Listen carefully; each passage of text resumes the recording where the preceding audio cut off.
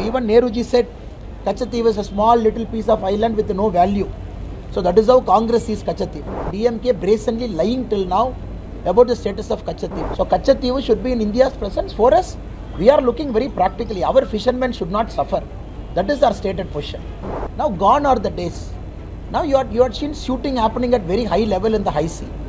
Now all those things have happened, all those ruckus have happened, and DMK brazenly lying till now about the status of Katchatheevu. Now we believe Article 6 reinstatement, step 1, whereby the Tamil Nadu fishermen can go till Katchatheevu, put their fishing nets, and taking back Katchatheevu. Even Nehruji said Katchatheevu is a small little piece of island with no value. So that is how Congress sees Katchatheevu. That is Nehruji's position. No value. Except a church, there is nothing. Blade of grass is not there. So now, historically, strategically, now because of China and whatever is happening around Sri Lanka, you all know it better. So Katchatheevu should be in India's presence. For us, we are looking very practically. Our fishermen should not suffer. That is our stated position.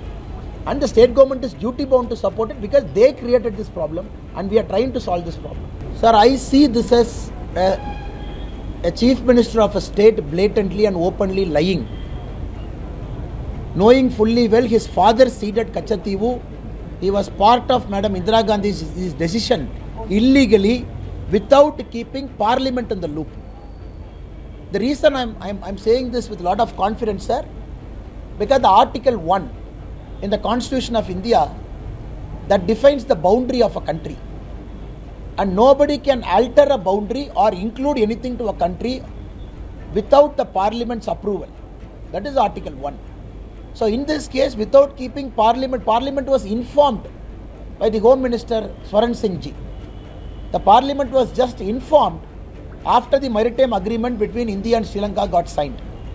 Now the cat is out of the bag, where we know the Chief Minister of Tamil Nadu, then Mr. Kalaignar Karunanidhi ji, was fully aware of it even a month before he gave his concurrence.